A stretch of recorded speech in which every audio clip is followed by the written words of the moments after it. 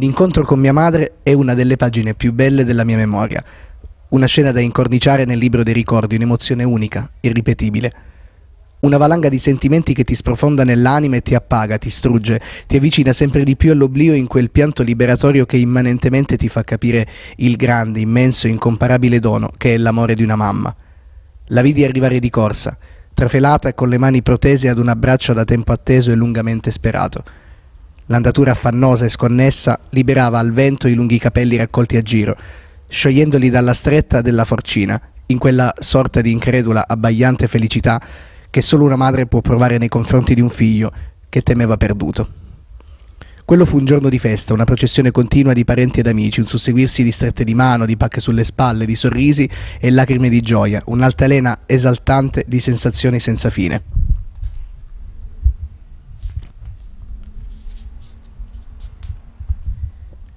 Mio padre ostentava un comportamento serioso, al limite del convenevole, ma ogni tanto una lacrima, prontamente repressa, tradiva il suo reale stato d'animo e per mascherare la grande emozione da cui era pervaso masticava nervosamente un mozzicone di sigaretta, spento ormai da tempo. Ero felice ma non appagato, sazio ma ancora digiuno, giunto ma ancora in viaggio. Mi mancava qualcosa, o meglio qualcuno, c'era il presente ma mancava il futuro. Tutto a un tratto repentinamente uscì di casa e mi misi a correre, a correre a più non posso. Il cuore batteva forte, il respiro diventava affannoso, il sudore grondava il viso proteso, rigando lo sguardo che intensamente scrutava l'orizzonte. Finalmente la vidi. La vidi da lontano, già donna ormai, correre anch'essa ansimante verso di me in quel luogo tenero, appassionante, abbraccio che ancora oggi non trova fine.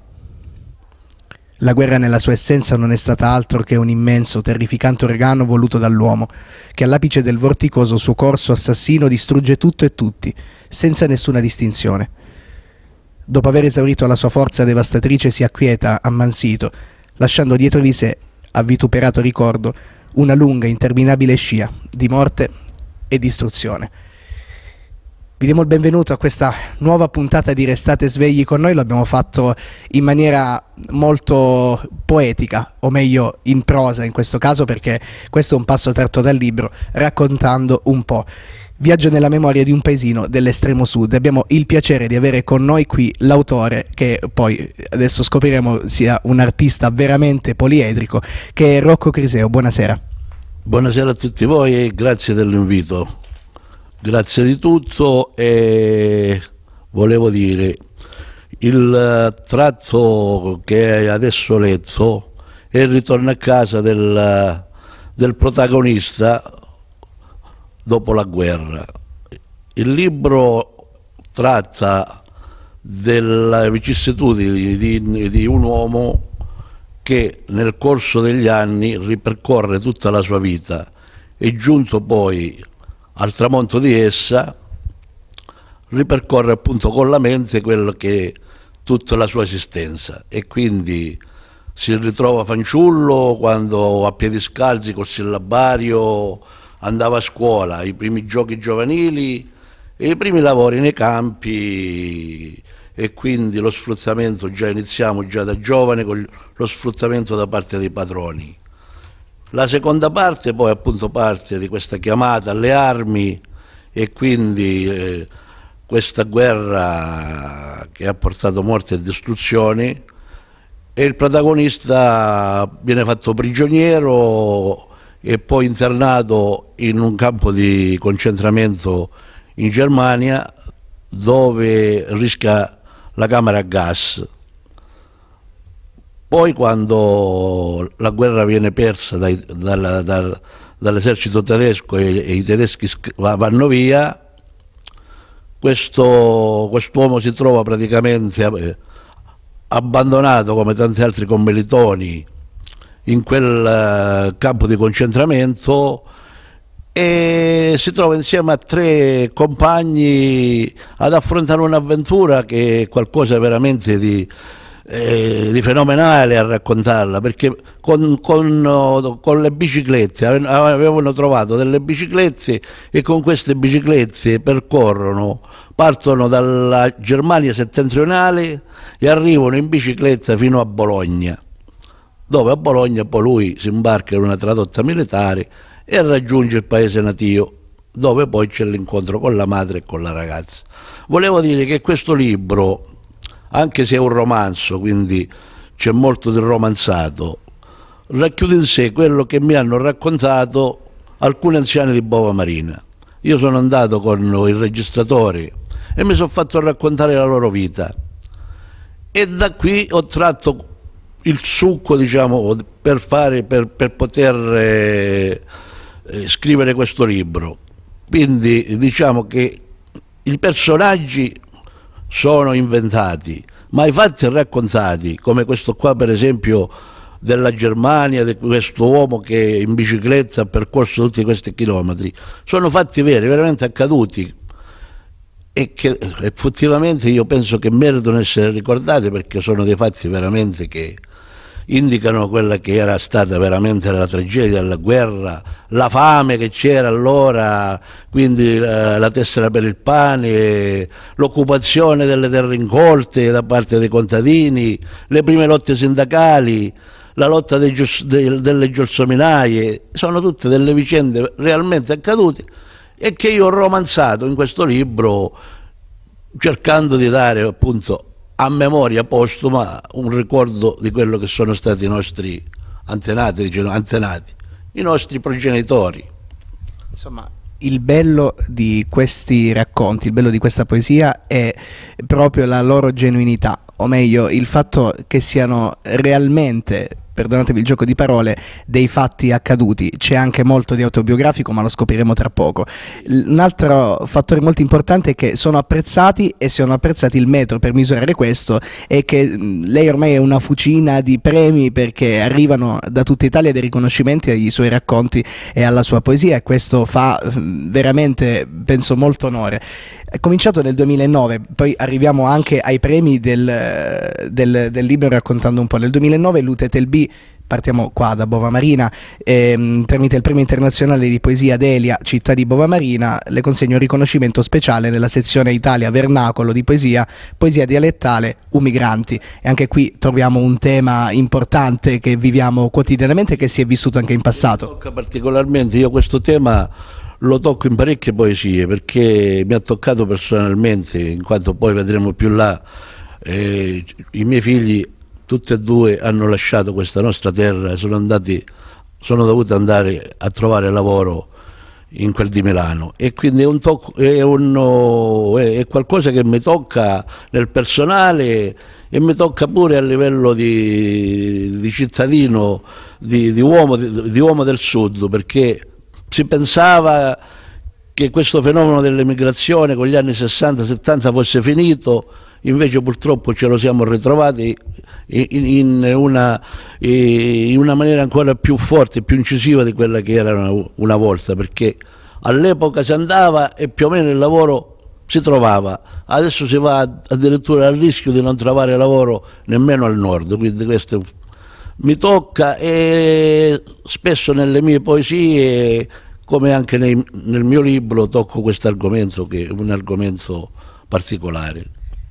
Arriviamo al 2010, l'anno successivo alla pubblicazione del libro Raccontando un po' e c'è un premio nazionale, questa volta il premio Istonium della città di Vasto, siamo in Abruzzo, provincia di Chieti, premio speciale del presidente per Raccontando un po' che abbiamo letto poco fa, quindi questa è stata anche un'altra bella soddisfazione. Sì, sì, devo dire che è stata una bella esperienza perché era una delle prime volte che partecipavo e venivo premiato e a trovarmi in questa bella cittadina dell'Abruzzo, in una aula magna universitaria, stracolma di, gente che veniva da tutta Italia, mi ha veramente commosso e gratificato perché nel momento in cui poi sono stato chiamato per la premiazione e ho ricevuto il premio, la targa con la pergamena, diciamo, e è stata un'esperienza che effettivamente mi ha indotto a continuare in, quella, in questa strada qua perché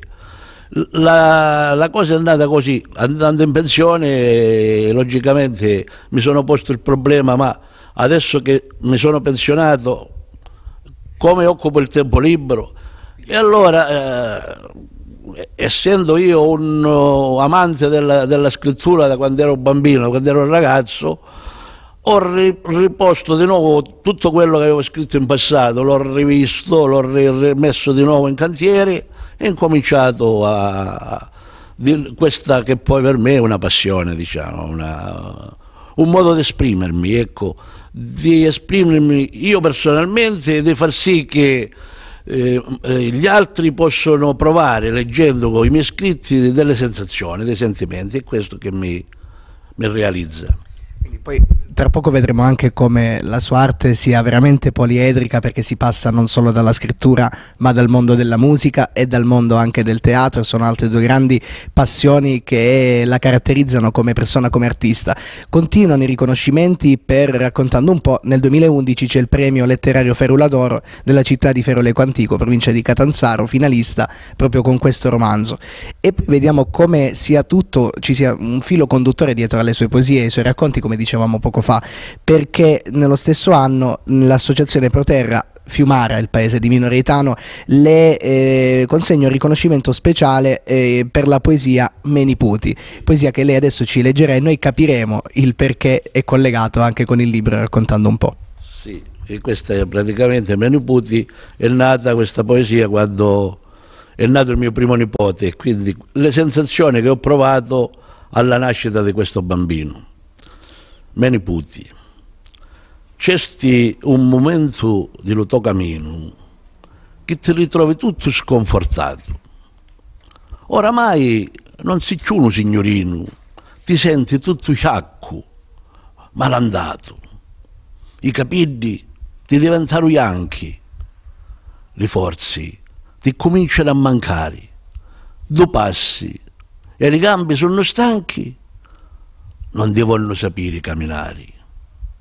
Cominci per me pensi quasi strani, si peio di uccelli di malagurio. Ti trovi poi non i piantare mani e passa tutto quanto l'augurio.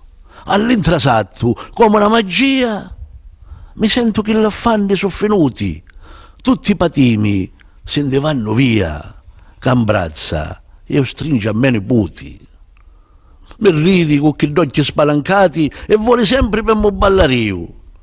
Ci fai pure tu quattro risati e o cuore si inchi del ricrio. Da facci c'è da bella saporita, da bucchi c'è da duci come meli, trasio di prepotenza da me vita, mi sento un palumbo senza feli. Uinchi tutto quanto di baciati, che quanto un cindedone manco sai davi due gambicelli zuccherati e bontatoso e non changi mai. Si parri, pare che ti un'antisa e lunghe mani pure savi sonno. Uvidi, con da testi c'è da tisa, che vuole una carizza di suo nonno. Ma guarda tu che mi imbattivo ora, a me giornata e china d'allegria. Ringrazio a mio figlio come un'ora che lo chiamarono Rocco, come a mia. Quindi il nipote Rocco che arriva al primo nipote come, come il nonno. Io come il nonno, sì. Quindi speriamo erediti anche l'arte che, che c'è lei. Speriamo che abbia fortuna poi, tutto il resto. Certamente mi farebbe piacere se anche lui avesse questa passione per la, per la poesia, per la, per, per, anche per il teatro, insomma, sono tutte delle cose che eh, racchiudono la mia giovinezza, ecco, la poesia, il teatro, perché poi la musica è venuta dopo, quando ero già adulto, però eh, la mia fanciullezza è stata ricca di, di teatro e di poesia. E quindi però c'è il rimpianto del nipote nato lontano da questa sì, terra. Sì, sì, sì. Il rimpianto appunto è la, ecco, l'amarezza di questi miei due figli che eh, l'uno dietro l'altro hanno dovuto lasciare questa nostra terra, questo nostro paese per andare a trovare fortuna in quel di Milano. E appunto questo uh, ha dato lo spunto a quella poesia che poi è diventata il titolo pure della raccolta dialettale Terra Ingrata che ha avuto anche un riconoscimento il libro Sì. No, lo, lo, lo, leggo io così le, le, levo perché so che è un po', non dico imbarazzante, però è, un po', è un'emozione, forse questo è il termine giusto, parlare dei riconoscimenti che si sono ricevuti, quindi lo facciamo noi da presentatori.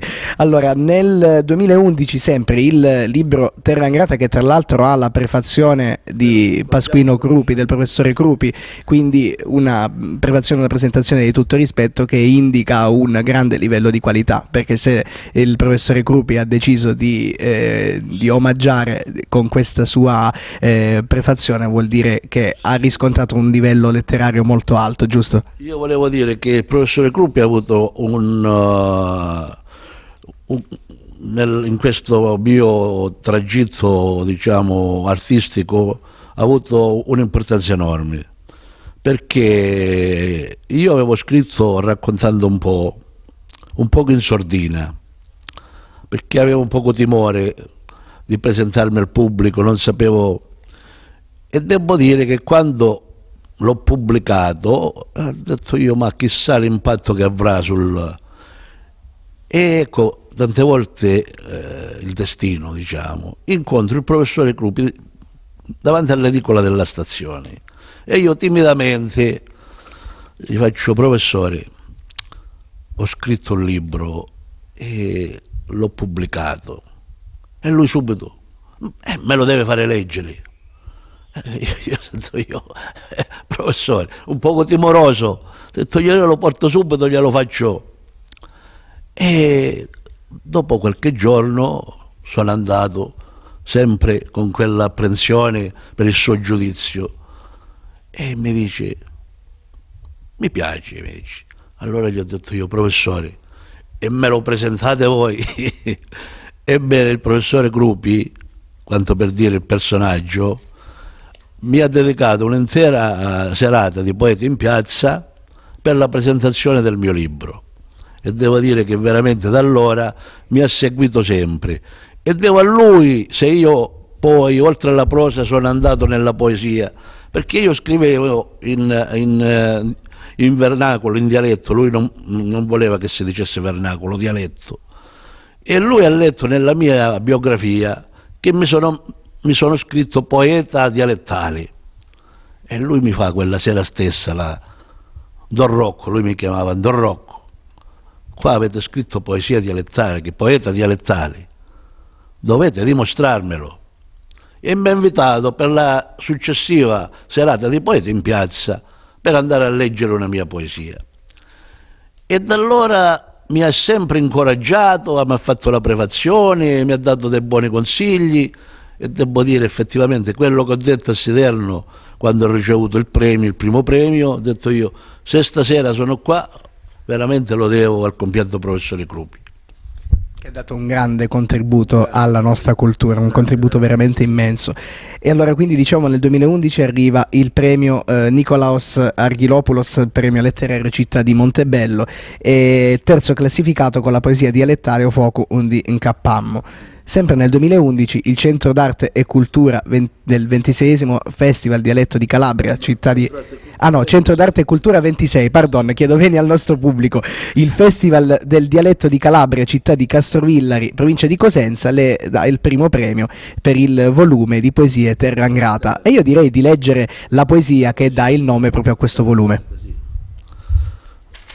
Terra Ingrata, se tu, o oh terra mia, i figli miei mi ricacciaste via. Non morsi pani, non ci sapeste dare, deppero a girare fuori a travagliare. Sua mamma li cresceva con tanti amori, e ora ciangi e prega lo Signore, i figli suoi mi danno un avvenire, ma in te braccia mi pote morire. Terra perduta, sì, o terra mia, come a chi ubriaco d'osteria, che tracannando sempre paro paro, si sculo vino un acquaro. Ti curcasti e non devo sapere, mi esci fuori e mi ti fa sentire. Mi alza testa questo grugno duro, che tutti andanno a avere un lavoro. Terra picciosa, sì, o terra mia, mi rimanisti come una gulia, Voleva un mio bolsone non mecchino ma i figli miei mi laio qua vicino. Quando era bello, quando piccirilli, li vedeva saltare come grilli. A casa era china di calori, vacanti a sti ora e senza muri. Terra se tu china di condolo, non c'esti più speranza né consolo. Uto sapuri, dassa bucca amara, che ancora detta legge la lupara. Mi fanno raggia sti politicanti, che promessi, ne sanno fare tanti. Ti dicono che di te andranno rispetto, ma con la mafia poi vanno a braccetto. Se tutta questa tu, che sai fare? Sono stanco come ti vivo sempre penari. Mi cangi, proprio tu non vuoi sapere. Ma se resti così, onde vuoi iri? Non saccio, ciò che altro mi ti dico, e ora mi ti menta voglia fico. Mi ne esci presto fuori sta patia, s'ingrata tu, ma sì la terra mia. Penso che eh, dica tutto, l'attaccamento a questa terra con tanti difetti, ma quando si parla della propria terra, la propria casa... E l'orgoglio delle proprie origini sono una caratteristica delle mie poesie insieme alla satira. A me mi piace anche usare la satira, tante volte abbastanza puggente su quelli che sono gli usi e costumi, certe consuetudini delle nostre parti che rimangono come che non si riescono a sradicare dalla, dal, dal, modo di agire delle persone. Il caso di Mugliere Boy, per esempio. Mugliere Boy, sì, sì. Diciamo, leggiamola, vedo la poesia ce l'abbiamo pronta. Sì. Questa qua è una poesia che è nata così per caso. Ci trovavamo cinque amici d'infanzia, bovesi, in un ristorante di Cinisello Balsamo siamo Cinisello in provincia di, di, Reggio Calabria, anche se al nord lì ci sono tanti calabresi. Eh, avevamo organizzato questo pranzo e ci siamo trovati con le mogli e a un tratto ci siamo guardati in faccia e abbiamo visto che tutte e cinque le mogli non c'era una che, era, che non, non, addirittura che, che fosse boviciana, nemmeno calabresi. E allora ci siamo messi a scherzare un poco su questa cosa qua e dopodiché una di queste che conosce i miei scritti, dice Rocco, ma tu che scrivi? Perché non scrivi una poesia sulle donne forestiere, le mogli forestiere? Ed è nata questa Mugliere Boy. Signori miei, mi scappano le risi. Qui è che si è inventato questo modo di dire? Mugliere Boy di tuo paese. Ma quello dissi, facetemi piacere. I femmini di fora, cari amici, hanno motivi tanta lamentela, che con pazienza e mille sacrifici sopportano mariti e parentela. A femmina che casa un boviciano non sa quale guaio che si piglia. Si credi che marita un cristiano, si trova invece tutta una famiglia. A soggera è sempre a boccazzari. Mio figlio, sai io come è cresciuto?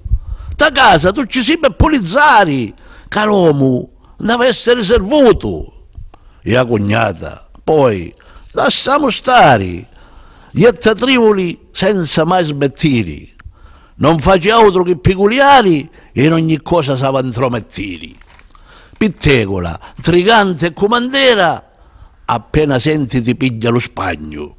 Oh, che facisti? Chi dannaco era? Vuole sapere pure se va a bagno poveri femminelli forestieri, mogli di marito boviciano, una medaglia corda e savi meri, sono ancora stati con questo cristiano.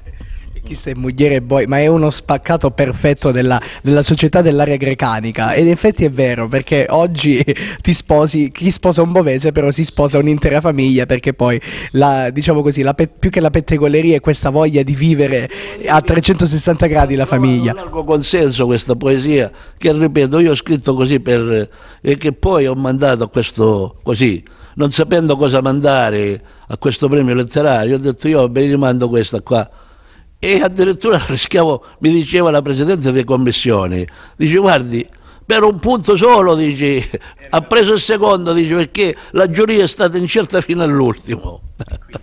è stato un, un, piacere anche questo qua.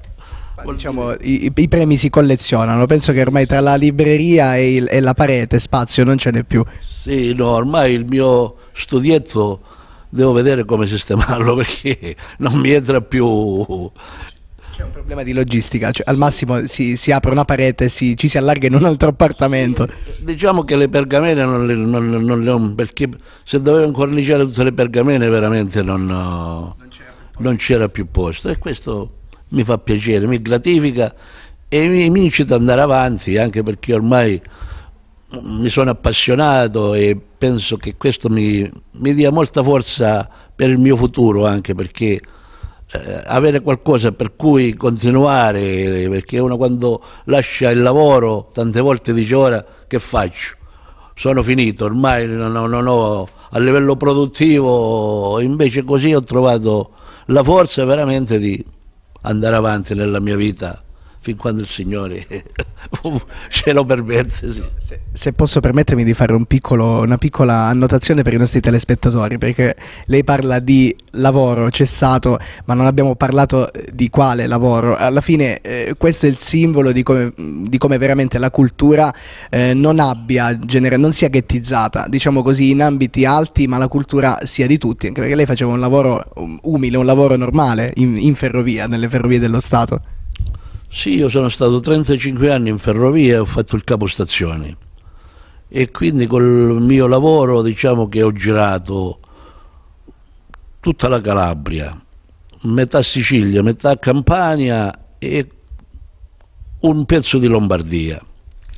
In tutti questi viaggi cosa, cosa, le veniva in mente quando pensava a questa terra, alle differenze tra la nostra terra e le terre che andava a visitare?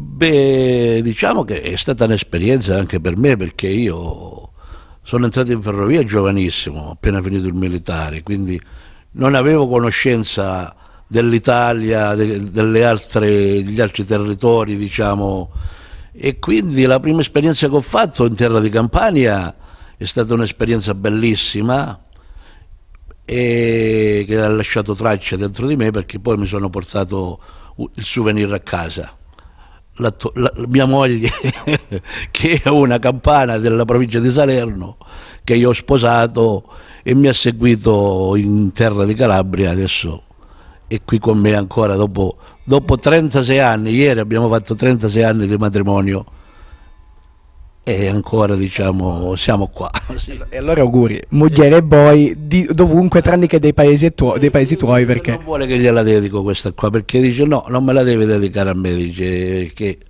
eh, Mugliere e Boy dice, è, è qualcosa che eh, oltrepassa, io ormai sono diventata calabrese pure io, mi sono radicato qua e quindi non si riconosce in questa poesia lei. Dice, se l'avessi scritta 35, anzi 36 anni fa forse, ma adesso... Avrebbe avuto forse più, adesso no, adesso lei si è perfettamente integrata nel tessuto sociale nostro, sebbene sempre legatissima alla sua terra, infatti io vado anche, anche io sono molto legato a quella terra del Cilento, bellissima terra, spesso vado pure io, mi passo qualche giorno e sono stato anche premiato poi, lo vedremo. Lo, vediamo, lo vediamo tra poco, ma noi andiamo avanti perché veramente i premi sono tanti ed è giusto elencarli tutti perché ci fa capire di come e di quanto abbia viaggiato la sua poesia e la, la sua letteratura in senso molto ampio, parliamo anche di, oltre che di romanzi, di racconti brevi, ma ne parliamo tra poco.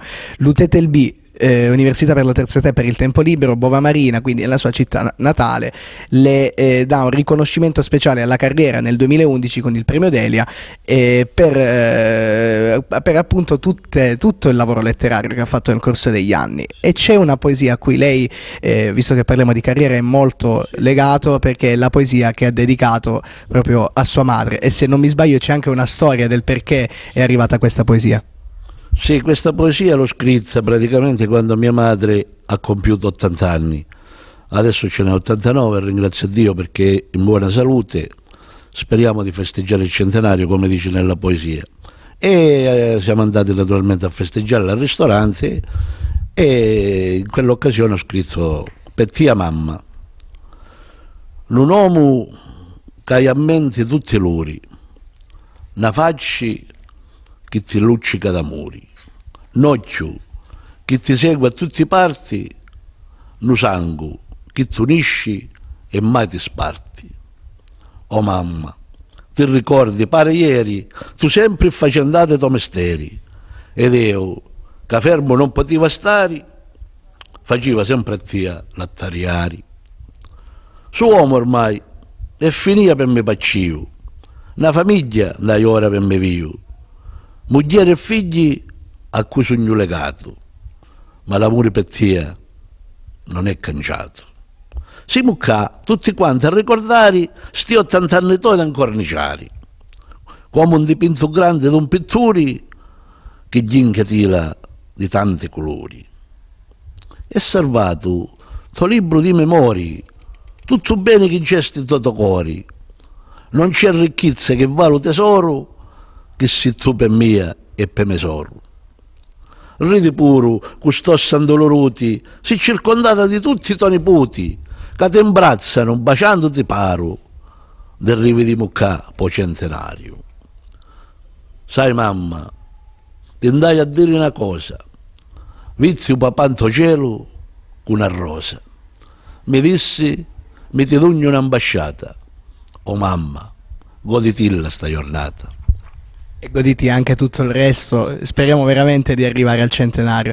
Si è, si è emozionata con questa poesia? Sì, mamma mia, questo, ogni volta che la leggo, che capita in piazza, che me la richiedono e lei è presente, è una commozione non solo per lei, per le mie sorelle e anche per me leggerla è un motivo di abbastanza di, di batema d'animo perché la mamma è un bene prezioso, né? quindi...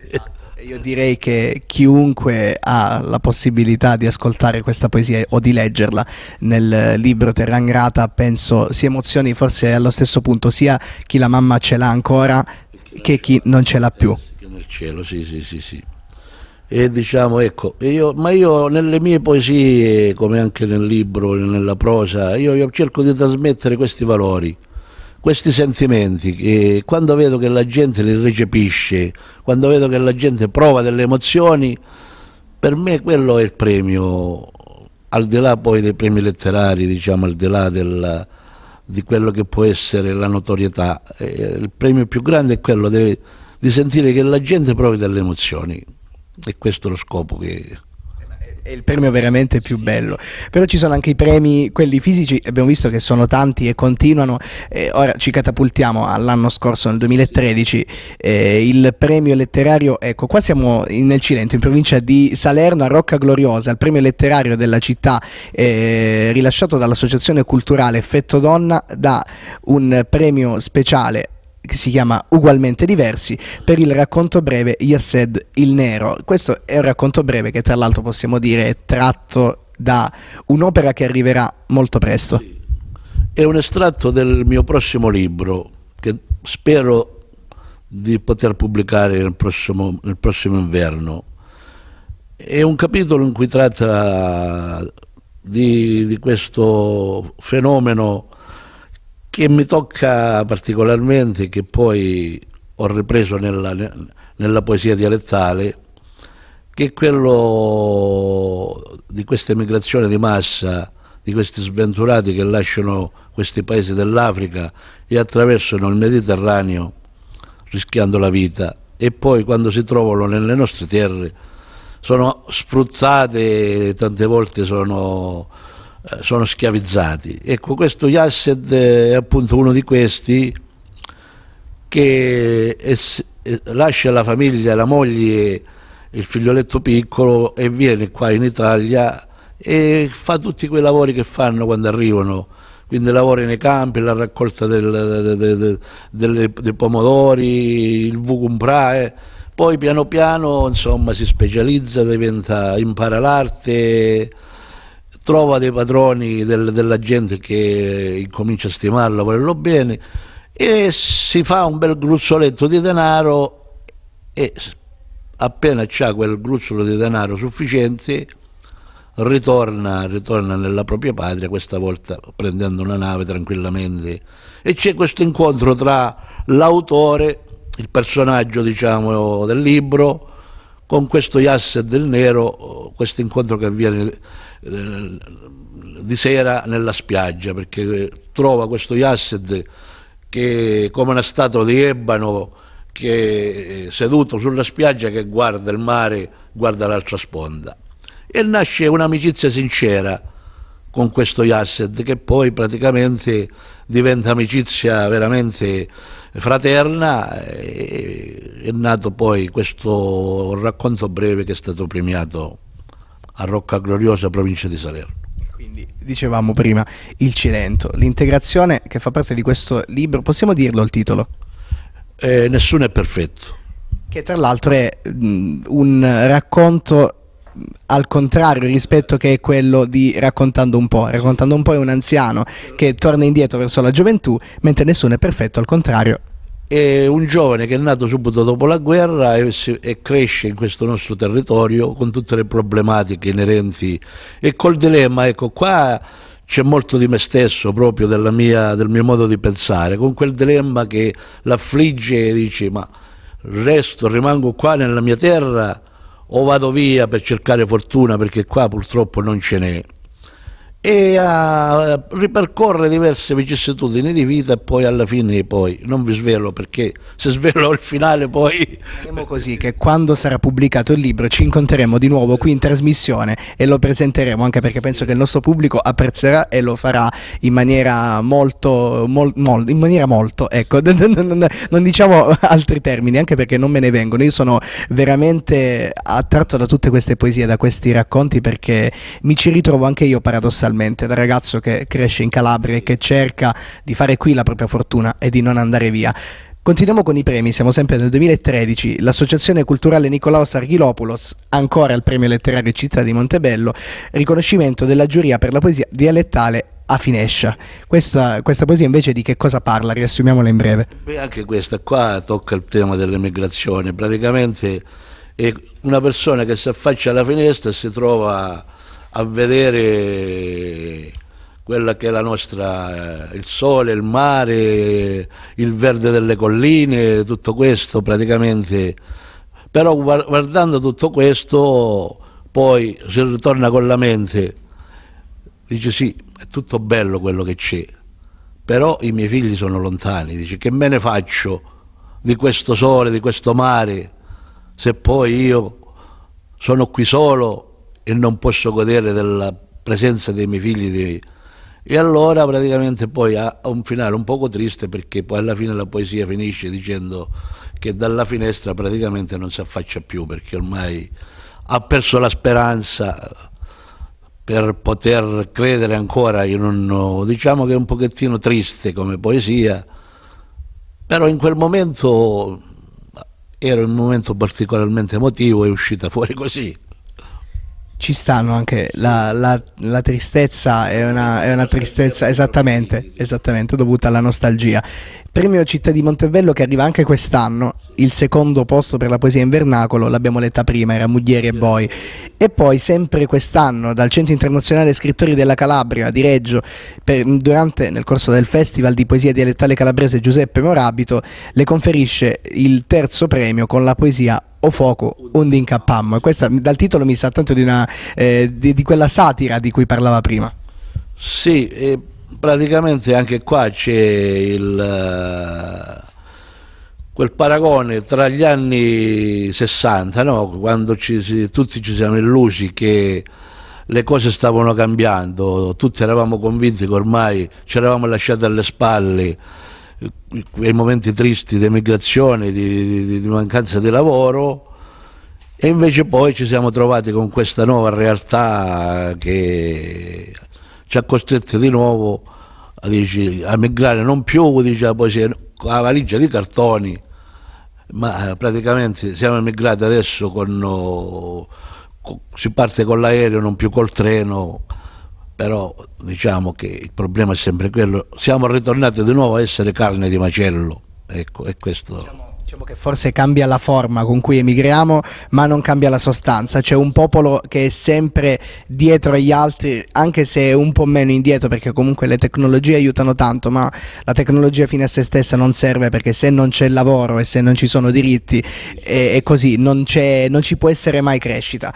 E quindi arriviamo, parliamo ancora di emigrazione e questa è l'ultima poesia anche perché ha ricevuto due premi e li ha ricevuti da poco, in questi mesi. La poesia è Faccinieri e Faccinieri, che adesso leggeremo e con la quale saluteremo i nostri telespettatori, ha ricevuto due premi molto importanti. Il primo in ordine di tempo il premio eh, Giumo Trichilo della città di Siderno, il premio letterario, eh, arriva il primo premio con la poesia per l'appunto Faccinieri, stesso premio, però è, è sempre un primo premio, no? ma altrove, arriva da un altro posto, arriva dalla provincia di Crotone, il premio letterario La Fortuna da, eh, dalla città di Caccurri, se non mi sbaglio, provincia di Crotone, l'Accademia dei Caccuriani è quella che, che, ha rilasciato il premio, sempre il primo con Faccinieri. E quindi io eh, lascio i nostri telespettatori all'ascolto di questa poesia con la quale li salutiamo e noi ringraziamo ancora una volta il poeta, scrittore, attore, musicista, fermiamoci, fermiamoci a scrittore poeta, però veramente un artista poliedrico ed è bello vedere persone che si impegnano nel mondo della cultura. Rocco Criseo, Faccinieri venivano di terra assai lontani, poveri cristi con facce neri. Fuivano con cuore in le mani, cercavano una patria e un avvenire. Fuivano per non mi sono ammazzati, per non davere più camparistenti, per non vedere sangue strati strati, per non sentire i ciangeli innocenti fuivano di un destino infami, che li voleva morti e sotterrati. Di Prescia, patendo site fami, dassavano di terri sventurati. Stivati in tana barca come cani, chi piedi scazzi e solo cielo e mari, parivano più besti che cristiani, giornati interi senza richiatari. Famati pagavano un upigno, nasciru da un paese indegno, onde la libertà non c'era segno, solo la povertà aveva il regno. Frontavano un viaggio senza fini e i figli mi cedono un pani. Pezzenti, non certo malandrini, volevano speranze, domani. Non è però di certo buona sorte, che ci gustavo caro navigare a Murra si l'inghiottio la morti, negati dallo fondo di lumari. Di fronte a queste morti senza croci, di fronte a questa gente senza pace, a mente mia, più non si conduci, un mondo parra parra e niente faci. Vedendo tutta quanta sta moria, facciamo finta che ne dispiacimo. No padre nostro, un'Ave Maria e dopo un poco tutto un disperdimo. Ma non sentimo scorno da sto cori, ma non davimo sangue in tale vini. Per un po' di libertà sta gente mori e li bullamo come clandestini. Finimola con tutto sto parlare, che pure a Cristo noi mentimmo in croci. Vediamo invece che potremo fare Dandilla tu Signore un po' di luci. Dandilla tu Signore una speranza, una stilla mi illumina cammino. Calomo è sempre pronto per mattanza, Cumori è sempre a e mai caino. Ma onde curri, mondo scellerato? Ti pare che non paghi dazio mai? Riva, che pure tu gli è luciato e se non d'astenenzi ne intendai. La profondità di Faccinieri, noi ringraziamo ancora una volta Rocco Criseo per essere stato qui in trasmissione. Grazie a voi e un arrivederci a tutti i telespettatori. E l'arrivederci lo do anch'io, alla prossima settimana.